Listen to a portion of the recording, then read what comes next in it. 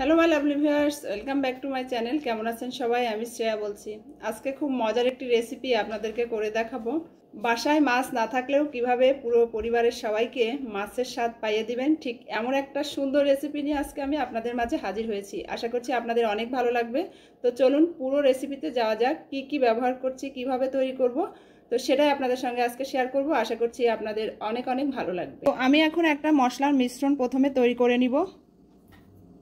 এর জন্য নিয়ে নিচ্ছি কিছুটা বেসন। নিয়ে নিচ্ছি শুকনো মরিচের গুঁড়ো। এখন নিয়ে নিচ্ছি এখানে হচ্ছে সরিষা, পেঁয়াজ আর একটু রসুন আমি পেস্ট করে নিয়েছি। তবে আপনারা চাইলে কিন্তু পেঁয়াজ রসুনটা স্কিপ করেও তৈরি করতে পারেন। নিরামিষভাবে। এবারে দিয়ে দিচ্ছি একটু জিরার গুঁড়ো। সামান্য একটু ধনিয়ার গুঁড়ো। আসলে মাছের মশলা যেগুলো আমরা ইউজ করি, সবই আমি এখানে দিব। দিয়ে দিচ্ছি একটু লবণ। দিয়ে দিচ্ছি সামান্য একটু হলুদের গুঁড়ো। এবারে সব কিছু সুন্দর একটু মাখিয়ে নিব।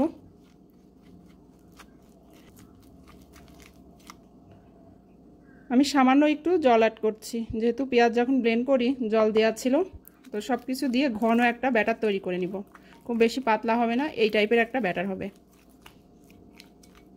ব্যাটারটা তৈরি করা হয়ে গেছে। এবার আমি ফিশগুলোকে কেটে নিব। যেহেতু আমি ভেজ ফিশ রান্না করব, তো এর জন্য আমি কাঁচকলা নিয়েছি। কাঁচকলা আসলে আমার এখানে যেটা পাওয়া যায় সেটাই ইউজ করছি। একটু বড় যেটা পাওয়া যায় সেটা পেলে বেশি ভালো হতো। তো এখানে যেহেতু পাওয়া যায়, না পাওয়া গিয়েছে এটাই মানে আমি লাকি আর কি। কলা দুটোকে ফিশের যে সাইজ হয়, ঠিক সেই সাইজ করে কেটে নিব। প্রথমে আমি কলার দুই পাশটা কেটে নিচ্ছি।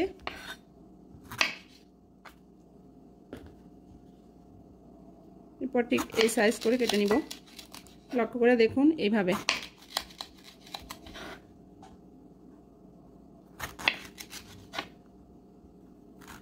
একটু বাঁকা করে ধরতে হবে চাকুটা।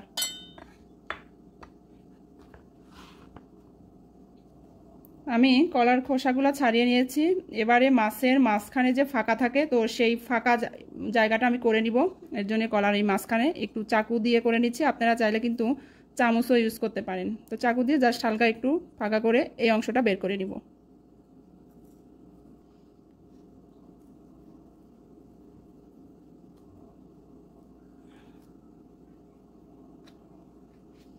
দেখুন, এরকম করে নিয়েছি। আমি সবগুলো কলার ঠিক এইভাবে মাছের শেপ দিয়ে নিব। দেখুন, আমি সবগুলো ফিশ রেডি করে নিয়েছি।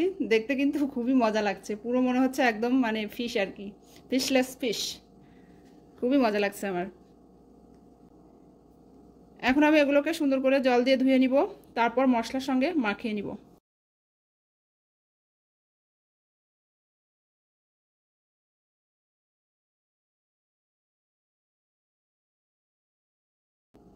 আমি মাছগুলো খুব সুন্দর করে ধুয়ে নিয়েছি, এবারে মশলাটা মাখিয়ে নিব।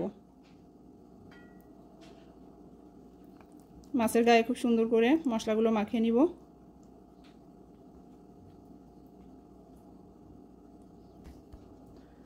তো আমি সবগুলো মাছের গায়ে সুন্দর করে মশলাটা মাখিয়ে নিয়েছি। দেখুন, দেখতে কতটা সুন্দর লাগছে আর অনেকটা লোভনীয়।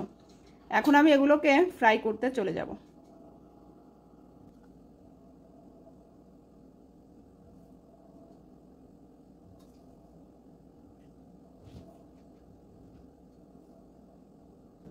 এবারে প্যানে দিয়ে দিচ্ছি তেল। তেলটা গরম হয়ে গেছে, এবারে ফিশগুলো দিয়ে দিচ্ছি।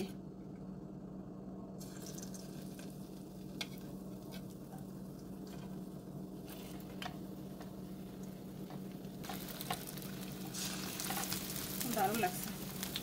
আমি ফিশগুলো উল্টে পাল্টে চুলার জালটা মিডিয়াম টু লোয়ের মাঝামাঝি রেখে খুব সুন্দর করে ফ্রাই করে নিব। মাছগুলোর একটা পাশ হয়ে গেছে, এবার আমি উল্টিয়ে দিচ্ছি।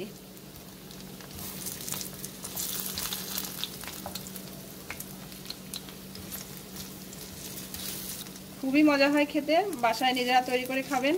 আর বাসায় যখন কোনো গেস্ট আসবে, এভাবে তৈরি করে দিবেন। বাসার গেস্ট অনেক খুশি হবে প্লাস সে নিজেও বাসায় যেয়ে ট্রাই করবে। সুন্দর করে ফ্রাই করা হয়ে গেছে, এবারে তুলে নিচ্ছি।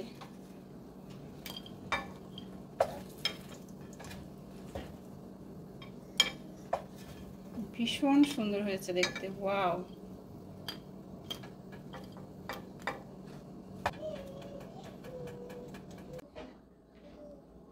দেখুন, দেখতে কত সুন্দর লাগছে আর কালারটা কিন্তু দারুণ আসছে।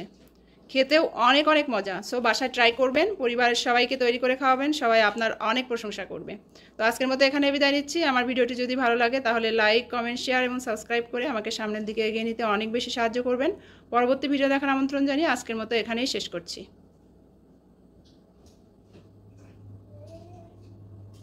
আসলে আজকে এত মজা হয়েছে। তো স্নেহার বাবা আমাকে বলছে যে, তুমি এত সুন্দর একটা জিনিস বানাইলা আর রিভিউ দিবা না। এই জন্য আসলে দিচ্ছি। খুবই মজা হয়েছে। এত মজা হয়েছে, আমি আসলে বলে বোঝাতে পারব না। সরিষা আর বেসন দুইটার মিশ্রণে এত সুন্দর একটা টেস্ট হয়েছে, খুবই মজা লাগছে।